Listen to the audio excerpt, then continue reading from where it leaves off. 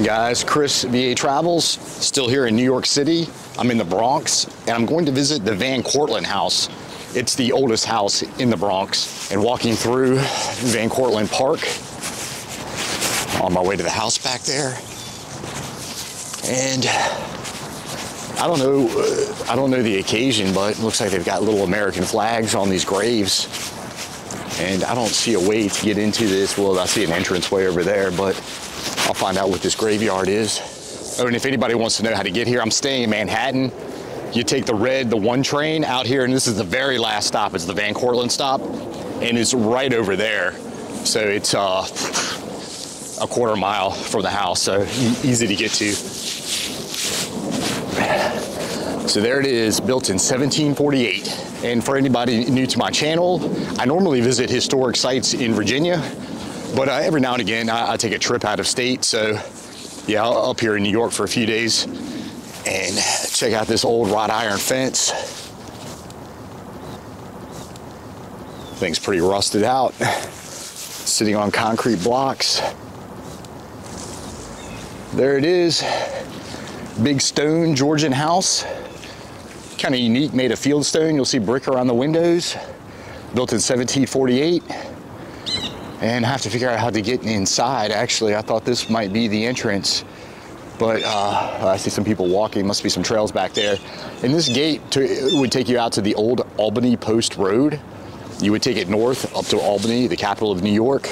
Uh, take it south into Manhattan, near one of the airports. Okay, it says 1916 right there.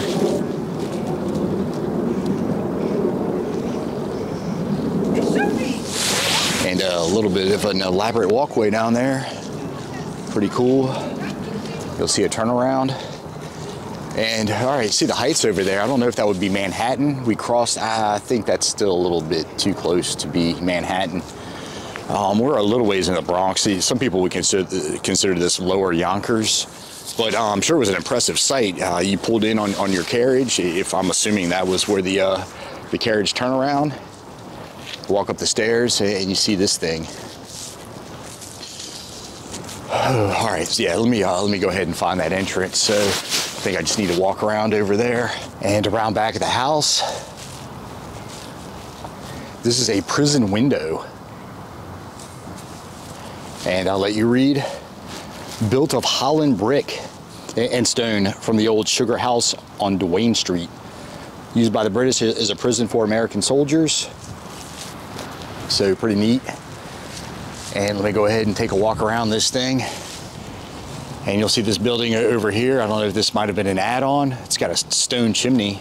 That's cool, little hyphen right here. And again, fieldstone. I wonder if this came off the Hudson. I, I don't know, but yeah, brick wrapping around. Got a little cellar door right there. And kind of just a little stoop right here, just a little walk up. And check out this knock. I'll walk up. I always like to look at these lock plates. And what is this? Some sort of ring or something? But little lock plate and this is uh well I thought it was a little bit heavier but uh, anyway all right so let me walk around take a look at the front the sun's out now I wish I'd have brought my sunglasses but it's been gloomy uh, the last couple days up here in New York All right, little write up uh, over here. Van Cortlandt House built by Frederick Cortlandt, and he actually died before the house was completed. 1847.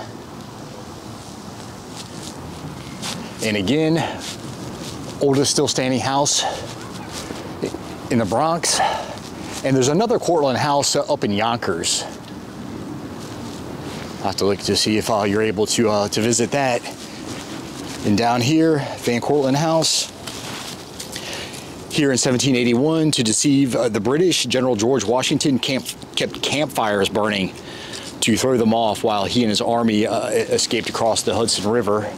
Pretty neat. George uh, Washington actually has stayed here several times. And up on these lintels right here, these are grotesque masks. Pretty unique. I wonder if that was a Dutch thing have to ask about that. And that one's broken off. Another kind of stupid, looks like that door knocks a, a little bit bigger. And same lock plate right there. And is that Medusa right there with uh, snakes? Wrapped around her head to the left, another. And just a bearded guy over here. This one's kind of chipped off. And over here, uh, just on the register, 1968.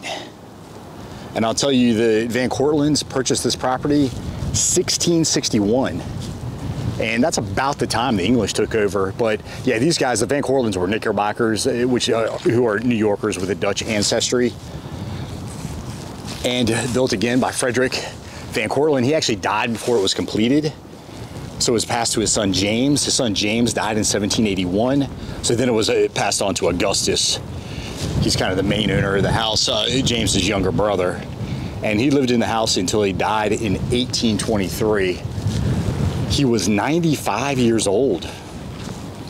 And uh, the Van Cortlandts lived in the house for 140 years until it was sold to the city in 1886. It became a museum in 1897. So wow, 100 and almost 30 years. This thing was a, uh, has been a museum. All right, let me walk around. I'll have to find out what the uh, little keystone on that lintel right there and I have to figure out what this uh, building is. It's too fancy to be any sort of slave quarters. So yeah, this Van Cortlandt uh, Park, pretty nice. Pretty windy on this wide open uh, field, but I see some uh, soccer uh, soccer nets back there, people walking their dogs, uh, people running about this house. Again, made of that native fieldstone, vernacular English Georgian style house. Okay, so 1747, 1748. five generations of Van Cortlandts lived here. Uh, the plantation was sold. I don't think these guys know what uh, plantations are up here. Uh, museum opened in 1897, so all kind of what, what I just went through. So let me take a look at this guy. Almost looks like a, a German uh, officer right here. He's got his tri-cornered hat, and this would be Major General Porter, uh, General State of New York, 1886 until 1894. Josiah Porter, and let's see, reputed to have been the first Harvard graduate to enlist in the Union Army during the Civil War. Uh, first lieutenant in the Massachusetts Volunteers, 1861, promoted to captain that same year. 1865, he commanded the 22nd Regiment of the National Guard of New York. And in 1867, he received the rank of major. So, pretty distinguished uh, officer. I have the sun right behind it. Cool. Oh, before I go in, I'll also tell you that John Adams stayed here, and the British actually occupied this house during the Revolutionary War at one point. Okay, so yeah, check-in's right around the corner. All right, guys, in the east parlor, and just take a look at some of the furniture. And this little keyboard mini piano is called a Spinet. They think it's made in New York. It's not original to the house, but it's a Baker Harris Spinet pretty interesting. Made in 1771. I don't know if you can see it written there. It says Baker, Baker Harris, 1771. And a little shell on the apron. Cool shell design right there. And there's Augustus right there. Nice painting. Check out the face on this fireplace. I don't know if that's wood or plaster, but cool broken arch up there. And this card table is actually has five legs. They think it was made in New York. Cool, a lot of ball and claw down there on the feet. And all right, a couple Chippendale chairs back there. Some Rococo on this mirror. All right, so the West Parlor and the Van Cortlandts were uber Dutch. That's where this paint scheme comes from. Apparently this blue and orange, it's a Dutch pattern. And that might explain why the New York Knicks are that color, Knickerbockers. But yeah, this clock, pretty nice. And that thing used to play a tune on the hour. Pretty nice. And has some teardrop pulls right there. Pretty cool. Little bun feet down there, tobacco twist. And okay, kind of a shell back Queen Anne style chair right here. Let me just span around. Pretty nice tiles right there and a little bit in need of a repair, but foot warmer down there. Uh, you, you know you had some money back then if you had a pineapple. At the table, a little sugar cone. Pretty nice trunk down here. Oh, and check out these floors.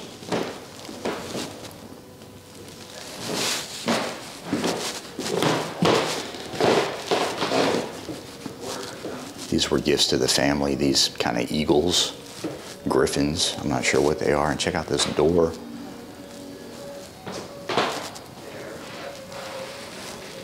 The hinges. Check out how high this uh, handle is. All right, so the dining room.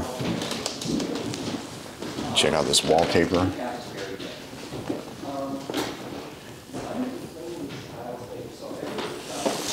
And that's a Dutch tile back there.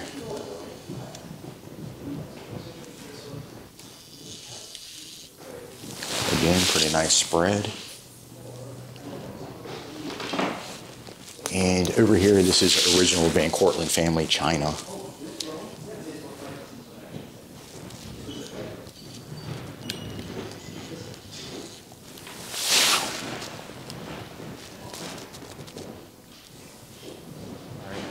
Uh, pretty cool little lock plate on that. Let's walk upstairs. All right, we're upstairs, and this is a Dutch chamber. It's not original to the house. They just set this up to make it look like what a one-room home, Dutch home, would look like on Lower Manhattan. So I'll just pan around. Uh, press over here. Check out this chair. Some cool spinning right there. And a press over here. Check out this clock. Oh, more of these Dutch tiles. I'll let you take a closer look. Is this guy fishing? And they try to get fancy and make these purple. They might be kind of faded. They look blue, but they're trying to go for purple. So yeah, this is, uh, he did it all right in this one room. This is where you cook dinner. So at some more of these tiles. Hmm, wonder what this is. Uh, there's nothing in there, but pretty fancy little cabinet. L-A-K. Oh, Check out the detail on this.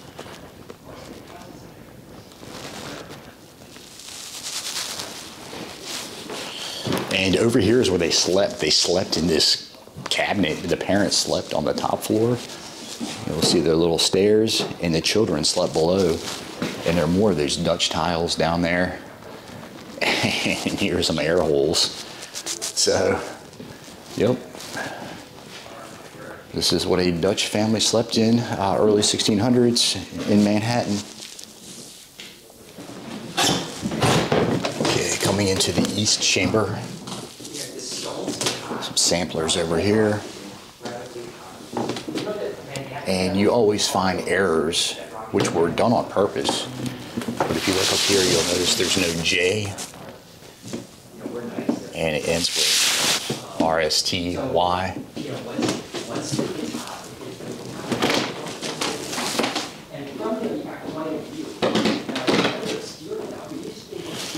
Okay.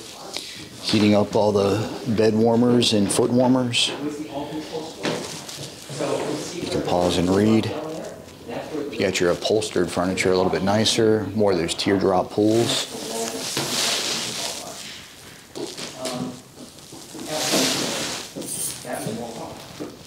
Oh, uh, check out that chair back there. Anchored curtain wall before we see it. We don't know anything, but one thought I And there's your little wash stand over here. They were devoted, they were married over 50 years. So now we're on the second floor landing. And this is one of the oldest known dollhouses in the country.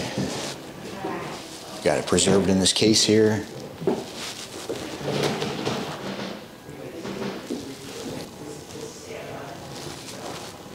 It has a Christmas tree too. Oh, the motherland right here, Amsterdam.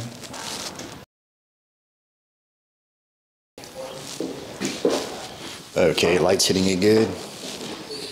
High boy. Bed warmers. Pretty neat. Oh, so we've got the landscape over here, Brooklyn Heights, Staten Island, Lower Manhattan. All right, so this is the west chamber. This is the master bedroom. And you know it's fancy because you have closets. so a lot of wood paneling over here. And obviously not as fireplaces aren't as fancy up here. You're not trying to impress anybody. And check out this chair. Just a face back. It looks like the left side is chipped off there. Wash basin. Okay. A shell back, kind of a mix between a, a, Queen Anne and a Chippendale chair right there. I don't know why, but in the 18th century, they like putting shells on everything. Let's see, fireplace, a couple ink wells back there. Oh, check out those boots. Oh, that's a real fancy Chippendale corner chair back there.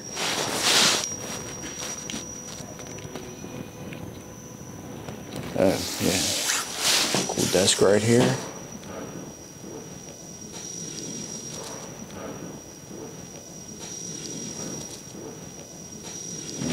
Get this last piece of uh, Another little, small little shellback Chippendale, Chippendale chair right there.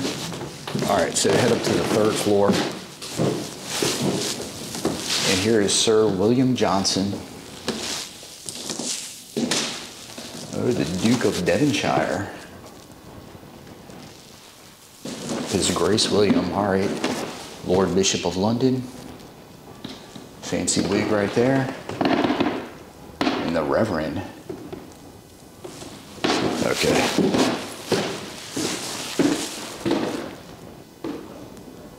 Love walking on these squeaky floors. Uh, check this out.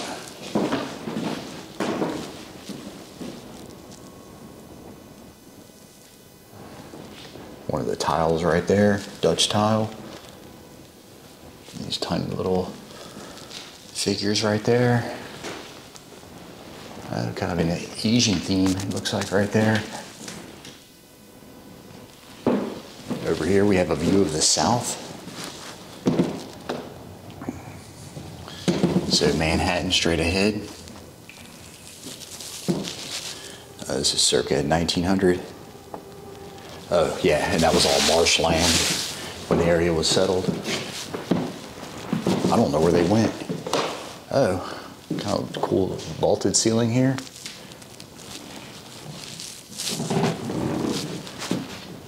Oh, Edgar Allan Poe Cottage. That is near here, but it's currently not open. I wanted to go there. And each of these blocks must have, all right. Ah, there it is. Here we are. Well, I don't know if this is this house. There's a pilgrim up there. Natives. Font Hill, is that supposed to be Fort Hill? Font Hill, 1852. And the Van Cortlandts used to have on the river, used to have a bunch of mills, uh, flies right there. I'm gonna walk on over to the other side. Oh, John Hancock. Oh, cool writing desk.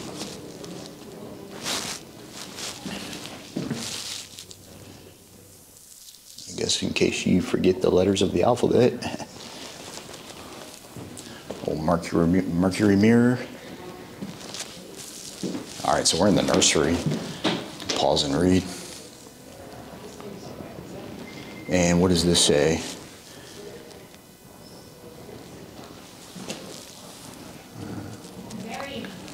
Cool lanterns.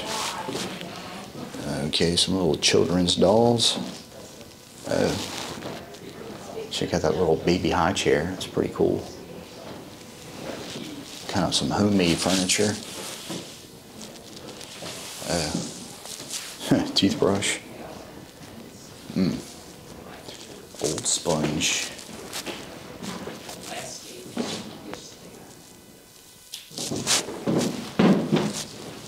Wonder what house this is or what building that is. Rocking chair right here.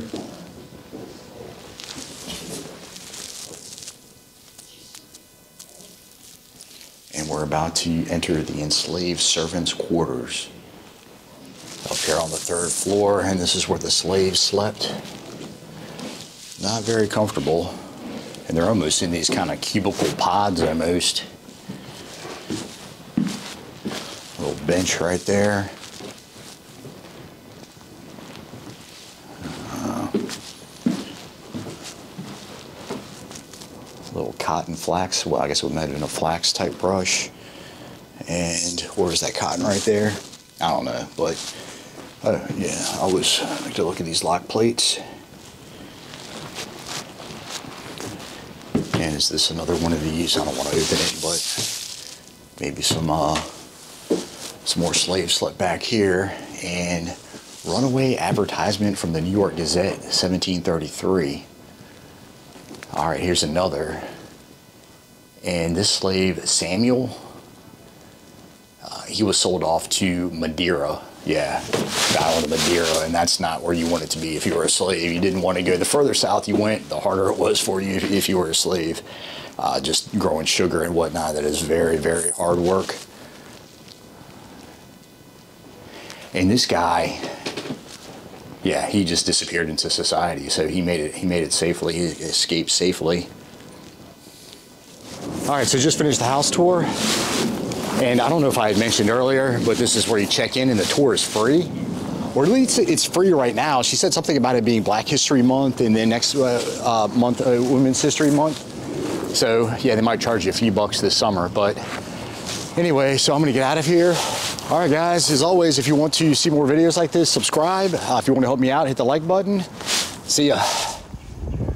Forgot on my way out of here. I just want to take a quick walk through this graveyard. So this is Memorial Grove at Van Cortlandt Park. Uh, it's a, a, living tribute to local servicemen who lost their lives fighting for the, our country.